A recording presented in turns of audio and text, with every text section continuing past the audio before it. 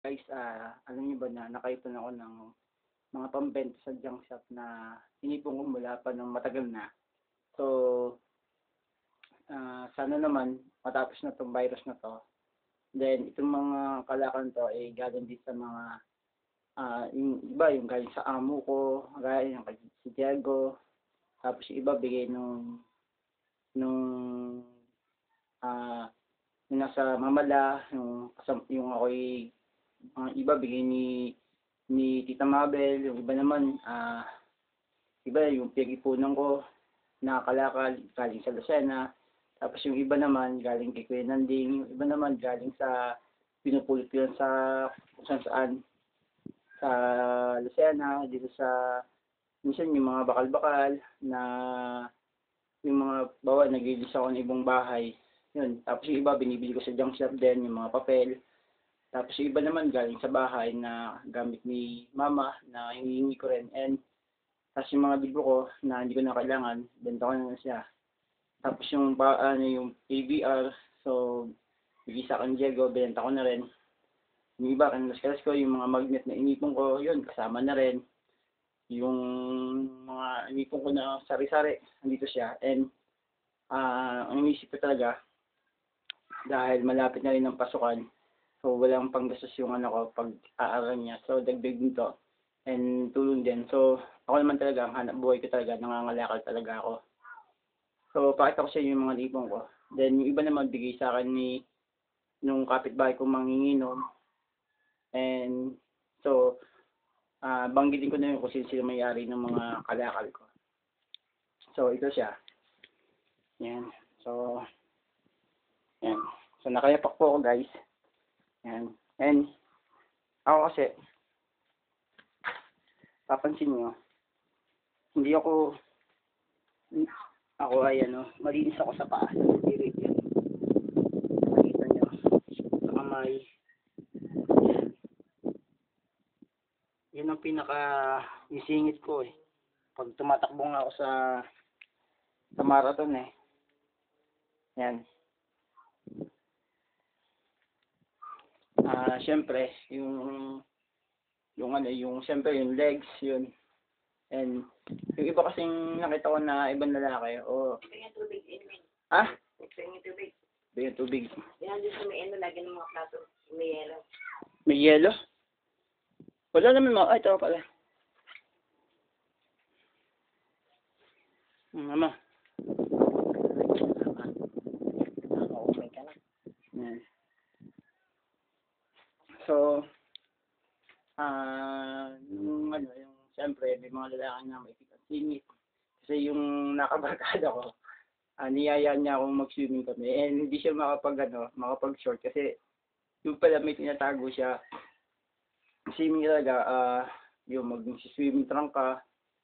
Tapos na ano, ayaw niya mag, ano, mag, ano. So, ako naman, lakas loob na ganun ako. And siya naka-short siya. Yung pala, nung tinanggal yung short, ang itim yung singit niya. So, ah may pagmamalaki naman, hindi naman ganun may masingit ko. So, tara, ganun.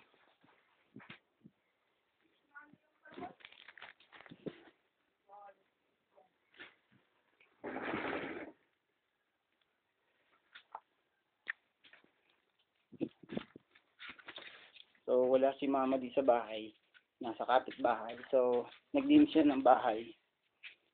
Yan. Ito yung kama ng nanay ko. Dito ang, dito si mama. Then, doon naman si Ella. So, may si Ella ay merong una na ganyan. Tapos may unang pa sa, ganito. Then, si mama madami siyang unan pag natutulog yung ano, kapag nainitan sila, bukas yung bintana sa gabi. So, ito naman, higaan ng kapatid kong babae. May mga paborito siya mga artista. Mga, yan. Ano naman eh. Hindi sa Korean. So, may mga ganto-ganto pa siya. Ah, wala dito si tita mo. Andun kay Lano, kay Aling Gloria. Andun niya, dala niya. So, ito naman higaan ko. So, ito yung picture ng anak ko. Tapos, yan. Yan din. Makapansin nyo, nabago na naman sistema. Dati ito, hindi dyan nakalagay, so binago niya ulit. So, ito naman, ito naman yung ano, yung nakalagay dito mga damit, ito naman yung ipinalit niya. So, palipat si, lipat si mama. So, may bisita kami. Yan. And, ay, ito na mahigaan ng kapatid ko, lalaki. Ito, pero higaan niya yan. Kasi yun ang higaan ni kapatid ko bunso. So, ito yung aming lamesa. Dito, kompleto kami. Pero ako lang hindi sumasama dito sa ka kainan. So, dito stop, dito, dito ako talaga. Tapos dito si mama. Saka yung, dal- yung, yung si Ella at saka si Malupe. So, ako naman wala, hindi na ako dyan, ano, natutulog. Ah, hindi, hindi na ako dyan, pag kumakain kami, hindi. So, yung, yung ano, yung ipon, ito ipon na namin tubig. Yan. Tapos, kay, kay ba? Kay ba? Ito lutuan namin. So, dati naman wala kaming ganito eh. Parang ito yata yung binili kay Aling Shirley, kay Tita Shirley.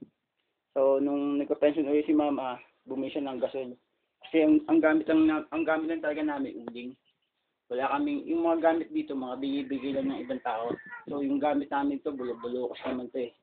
So, ano lang, ah hindi naman, hindi, hindi naman siya, ano, hindi naman siya ganun kaganda yung mga gamit namin. So, so itong bahay na to ay hindi talaga sa, hindi talaga sa amin. So, dati nakatala dito yung anak ni, ano, ni Apeng. So, nung nagkaroon kami ng, ano, dati hindi kami umuupa. Ah, pero dumating yung 2020, so naglakas loob na si mama magbayad ng bahay. So, lumawak yung bahay namin. So, ito, wala kaming kuryente. So, ang ilaw namin ay solar lang. So, pakita ko sa inyo yung solar na ginawa ko. Yan siya. Yan ang liwanag niya. Tapos pag dumarating ng ano yun, mga binu- bi- biway ka ng alas 8. So, alas 9, alas 10, mahina na siya. Yan. So, ah, yan. So, ito yung banyo namin. Yan, banyo. Yan. So, ganda niyan. Yan. Bukas ang kita ang langit.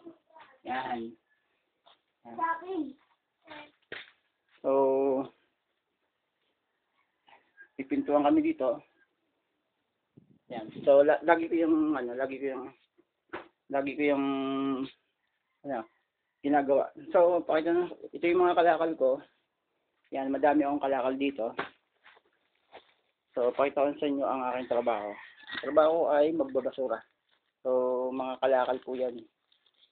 Pero yung mga kalakal na to, hindi yung mga talagang may mga dumi-dumi talagang mga ano, ibig sabihin galing sa basura. Hindi naman, hindi naman sa ganun.